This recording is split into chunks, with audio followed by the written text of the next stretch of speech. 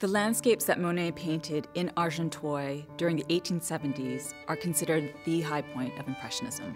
When Monet moved to Argenteuil in December of 1871, just after the Franco Prussian War, it was a growing suburb west of Paris, just 15 minutes by rail.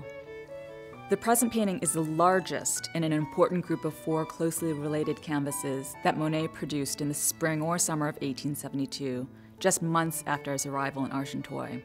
On the right are chestnut trees that lend shade and grandeur to the riverbank.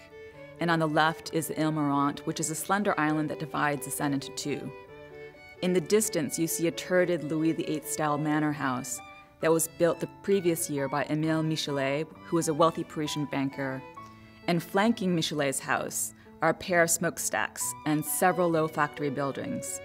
The various canvases in the group were painted at different times of the day and different weather conditions, allowing Monet to experience a range of lighting effects. Here he depicts our painting in richly colored late afternoon glow.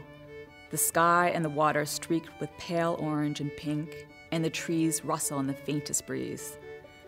The triangular reflections of the sailboat and the chateau stretch across the placid glass like waters, while the entire scene is unified and enlivened by Monet's broken and vibrating brushstrokes. Argenteuil exemplified everything one might want from suburban living.